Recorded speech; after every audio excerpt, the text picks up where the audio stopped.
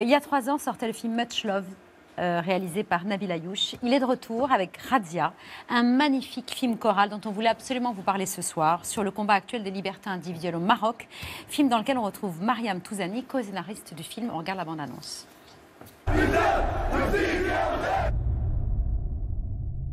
واش بصح كدرس بالامازيغيه اللغه الوحيده ديالنا هي اللغه العربيه بغيتو والو اللي يولفوا ودار ما عندك أشهد مسخ هذا اللهم إن هذا منكر رتمناخت داري مالك الغيطو عليكم السلام الوالد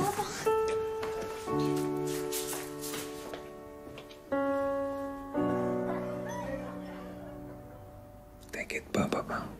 À Casa, il restera toujours assez de juifs pour nous enterrer.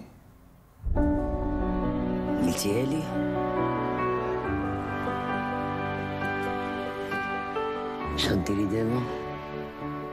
ما عرفاش أغات ايوا صافي سيري طيحي. ما حبسكش.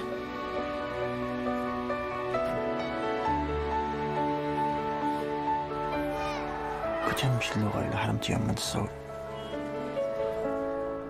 كيمشي الإيمان إلا حرمتيهم من الحلم. Bonsoir Mariam Touzani, bonsoir, Bonsoir, Nabil. Merci beaucoup de nous avoir rejoints, d'avoir accepté notre invitation. Bravo pour ce film absolument euh, magnifique que vous avez coécrit ensemble, que vous faites vivre euh, derrière la caméra pour vous et devant euh, la caméra pour vous. Un film qui sort demain en France, mais qui bat des records au box-office au Maroc depuis sa sortie le 14 février dernier. J'imagine que vous en êtes tous les deux très heureux. Oui, c'est une belle euh, forme de réconciliation avec un public dont on a essayé de me couper euh, en interdisant Much Love et puis qui a répondu présent à la sortie de Razia. C'est beau? Oui, c'est beau et le film est magnifique, Pierre. Bah Marie, on va le dire avec, euh, avec ces mots. Moi, j'en ai, on en a quelques-uns en commun. C'est combien Radia nous a euh, bouleversés et touchés. Vous êtes à l'évidence un grand cinéaste, on le savait avec Much Love et quelques-uns de vos, vos travaux. Euh, et, et là, vous le déployez, euh, ce talent. Euh, Mariam, vous êtes admirable de beauté, mais de talent, euh, d'abord. Euh, comme tous les comédiens, il y a des jeunes, il y a des vieux, il y a des, euh, y a des juifs, il y a des, y a des musulmans, il y a des enfants, il y a des montagnards, il y a des citadins, il y a des gens de Casa, il y a des gens qui viennent de l'Atlas. Ça se passe en 82, ça se passe en 2015. Euh, des montagnes de l'Atlas en 82 où un prof qui essaie simplement d'app- d'apprendre la science à des petits montagnards est chassé par des religieux venus de la, euh, de la ville. Euh, et il va aller dans cette ville de Casa euh, que vous avez rejoint, vous qui êtes né à Paris, et, et qui est maintenant votre ville. Vous avez une formule à un moment dans le film, euh, Nabil, vous dites Casa, Casablanca, euh, la ville monde et la ville tombeau. C'est dire combien ça reste compliqué. C'est une ville euh, que j'adore parce qu'elle est chaotique, parce qu'elle est euh, polluée, elle tourne le dos à la mer et en même temps il y a une énergie absolument incroyable. Je me sens vivant chaque jour euh, depuis 20 ans que j'habite dans cette ville. Vous avez écrit ce film tous les deux, qui raconte et qui embrasse pratiquement toutes les contradictions du Maroc d'aujourd'hui. Oui, on a, on a eu euh, ce désir euh, de, de- de- de donner euh, une voix à toutes ces personnes qui luttent, qui ont un désir de liberté et qui n'arrivent pas à, concrétiser- à le concrétiser. Et vous, vous êtes quand même plus souvent, on a le sentiment pessimiste qu'optimiste? Moi, je suis plein d'espoir, en fait. Et je pense que le film est un film d'espoir, tout simplement parce qu'il montre des combats. Il montre des personnages qui, d'abord, sont beaux par leur force, Ah oui. par leur courage, et puis par euh, leurs aspirations, leurs rêves. Parce que finalement, c'est ce qui est de plus dur, en tout cas, c'est ce que j'observe, moi, dans la société aujourd'hui, c'est cette espèce de schizophrénie entre ce qu'on ce qu'on voudrait être, ce qu'on, dans notre vie secrète, notre vie intime, ce dont on rêve, et puis ce qu'on est obligé d'être publiquement à cause de la pression sociale, familiale, religieuse ou autre.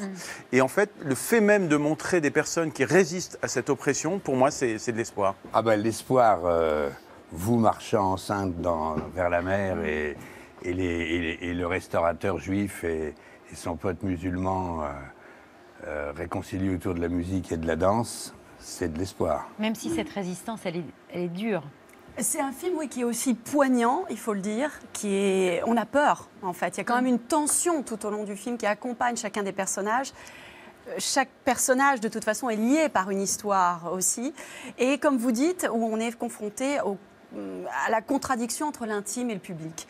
Et c'est vraiment un film d'une justesse et vous y êtes absolument bouleversante, belle, mais au sens euh, de l'émotion. quoi.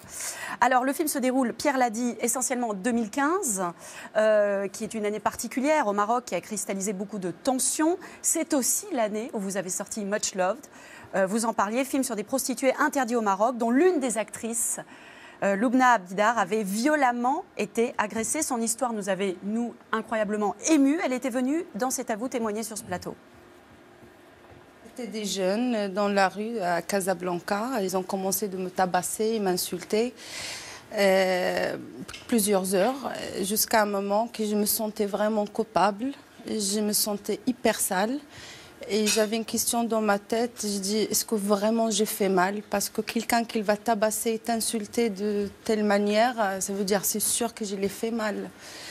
Et j'ai décidé le lendemain de quitter le Maroc. Euh, c'est pas à cause de ces trois jeunes, euh, à cause de beaucoup de journalistes qui me font trop mal sans voir le film. Ils ont rentré dans ma vie privée, raconté n'importe quoi, et jour après jour, euh, le peuple, il me, il me déteste. Et mon nom, c'est devenu une insulte.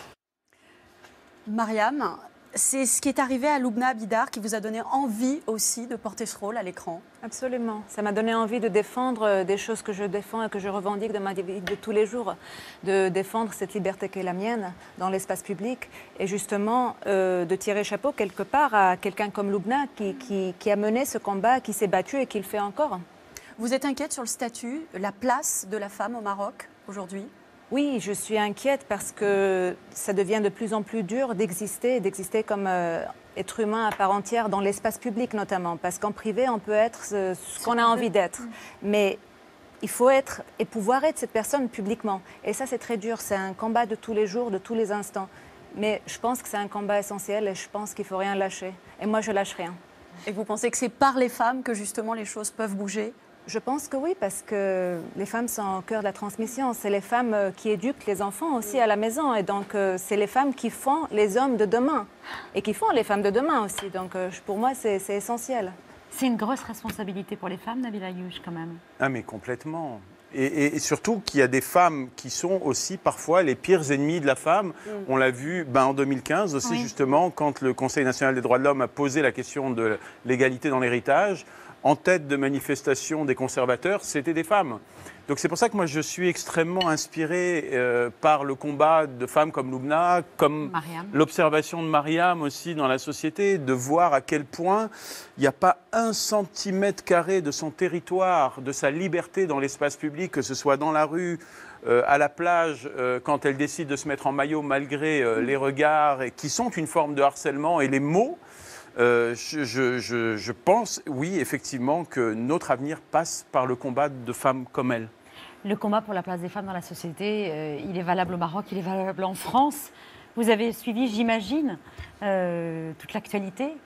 J'ai non seulement suivi l'actualité, mais il y a beaucoup de femmes qui sont venues voir Razia en Europe, aux États-Unis, toutes les villes où on a fait des avant-premières ou des festivals, et qui sont venues nous trouver, Mariam et moi, et qui nous ont dit euh, Vous savez, votre combat, c'est le nôtre. Hmm. Ici aussi, il y a plein de quartiers à Paris, en banlieue, à cause des de communautarismes ou autres, dans lesquels on peut plus se mettre en jupe, Mm. dans lesquels on peut plus s'habiller comme on a envie de s'habiller. Donc elles se sont elles aussi appropriées le film et ça c'était euh, assez interpellant et émouvant à entendre. Votre combat, c'est le nôtre. Vous pensiez euh, qu'on dirait ça en France? La vérité, c'est que je l'imaginais, mais je ne pensais pas à ce point que, que, que ces combats étaient liés. Maintenant, je me rends compte à quel point ils le sont. Et on s'en rend compte quand on voit le film. Vous vouliez dire Non, je voulais Pierre juste dire une chose. Casablanca, le film de Michael Curtis, c'est euh, un film qui vous a donné envie de faire du cinéma, Nabil Oui. Parce que c'est aussi un hymne à ce film, en permanence, qui, Et qui c'est un, transpire. un grand film de résistance aussi. Bien sûr, Casablanca de évidemment. Michael Curtis.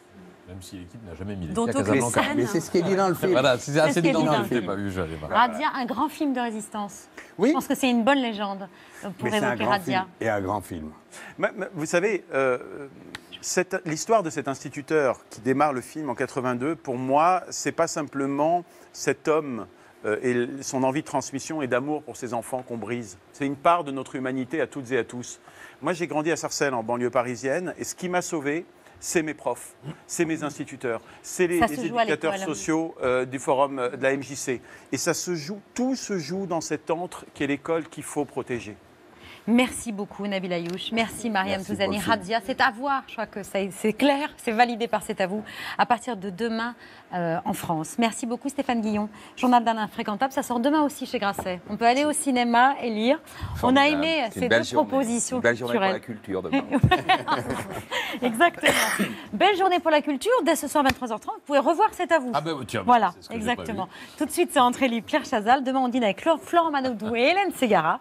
Et on se tourne vers Mehdi qui est derrière vous pour souhaiter une excellente soirée à nos téléspectateurs. Merci de nous avoir suivis. On vous embrasse. À demain 19h. Ciao.